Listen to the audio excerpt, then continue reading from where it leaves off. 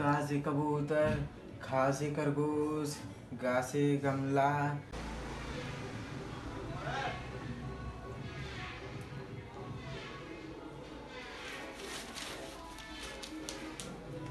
भासे भालू माँ से मर्द। हम्म, मर्द क्या होता है भाई?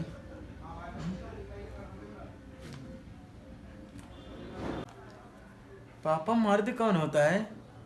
जो इंसान पूरे घर में अपनी हुकूमत चलाए, उसे ही मर्द कहते हैं, बेटा। क्या हुआ बेटा? क्या सोच रहा है? पापा, मैं भी बड़ा होकर मम्मी की तरह मर्द बनूँगा।